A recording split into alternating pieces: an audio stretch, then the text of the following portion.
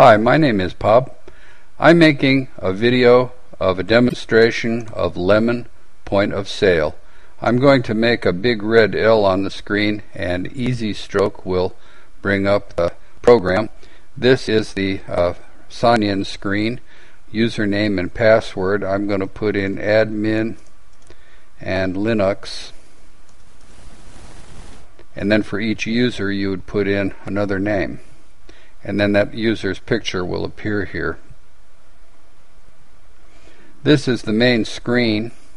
It hasn't started up yet. These things are blanked out down here until you start up the program. You have to put money in the cash drawer. I'll put 500 fictitious dollars in. Now everything comes up. All these items over on the left you can either go over them and then hit enter or you can use the shortcut equivalent which is a function key control key or an alt key. And you can change all of those to your liking to any key with this configuration program. Do a right click and configure the toolbars and you can change them all around any way you want. You can put all of this stuff on the top or on the bottom or on the right. I prefer having all of it here on the left. And the ones that I've got up here are the ones that I want up here. You don't even have to have them up there. When you sell an item in a store, you can use a barcode reader with a laser and beep the tag that's on your item. You can even get a Bluetooth barcode reader with a repeater and go out in the parking lot and scan the 17 digit alphanumeric vehicle identification number if you have a car repair business. One way you can another way you can enter in stock is up here and you can put in a quantity of items. For example, you could put in 4 times item number 8 enter. So I've got item number 8 and I got 4 brake hoses. If I want 5 I tap it again. Now I've got 5. If I change my mind and want to go back to 3 I can delete selected items by using control minus sign or just tapping here once, twice, now I'm back to 3. If I tapped it three more times, the item would be gone. Another way you can enter stock up here, instead of putting in numbers, quantities and numbers, you can put in, uh, I have one with a designator front brake pad. And then I hit enter, and there it is. Front brake pad is also code number 1 and if I want to get rid of it again I go back over here and deselect the item. There's still yet another way you can add items. There are a whole bunch of there are a whole bunch of uh, icons. Each item has a picture. And you you can put in your own pictures. These are generic ones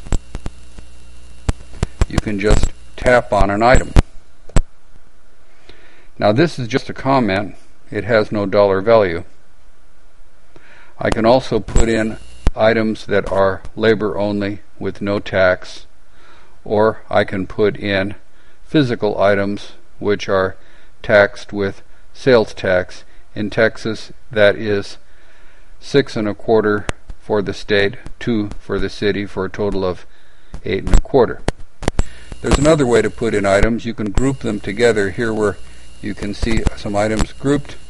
Let's say you have a convenience store and you sell Cokes individually. You could have one Coke or you could tap like this and you have a whole bunch of Cokes. In this case I have a $323 group of items called uh, front brake job which consists of pads and this and that and the other. I just made these up for demonstration purposes. But say, for instance, you've got a hamburger place and you sell a hamburger individually, but you also have a special which is hamburger, fries, and one Coke. And you could group them together like that. After you're done with putting in all of your items, you will collect money. Here I have $422 and you have a choice of getting cash or credit card. The credit card here is credit card number and authorization. Let's say cash, and uh, the fella gives me uh, five $100 bills, and I give him change of $77. As soon as I hit enter, it says it wants to print a receipt, and I'm having it pause before doing so and I can print to file PDF and where is it going to print? Right there. I can change where it's going to print. Uh, let's put it on the desktop.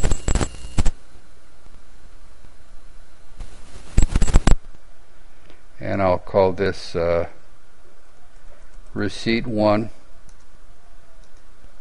receipt 2 save. And I printed it to the desktop. When you're done for the day, you quit. And when you do so, program has ended the report.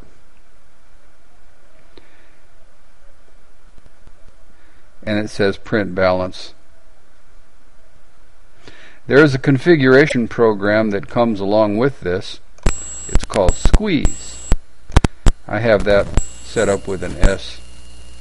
You can have Lemon and Squeeze running simultaneously if you want. This is the program where you buy items from the wholesaler and put them into stock, adjust inventory, and then make reports based on how well you are doing.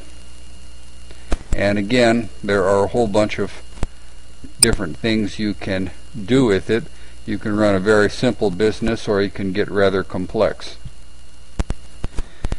Uh, if you want to be very simple, for instance, you'll put in an overabundance of numbers for things you have in stock. You can buy things in bulk, you can buy things in liquid, you can buy things in uh, different size quantities, a six pack, pair, uh, quarts, anything you want to do. It's a general purpose program and it is made not specifically for any one industry but is quite adaptable and it appears to be useful enough to use for anything except the most large scale business. It's absolutely free. It's a work in progress. I cannot say whether or not uh, it would be useful for you in your industry. You'd have to test it and see. I have a whole bunch of YouTube videos. My name is Pop.